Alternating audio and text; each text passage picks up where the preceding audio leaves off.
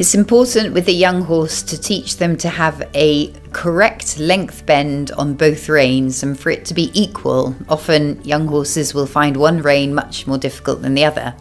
So, I like to work literally at walk on an approximately 10 meter circle first of all on one rein and gradually working to really exaggerate that bend on, say, for example, the left rein, so that the horse has a real curve from his poll through his neck withers to the top of his tail, um, all through his body, a really good curve, nearly exaggerated as though he's on an 8 meter circle, even though you're walking around on a 10 meter circle.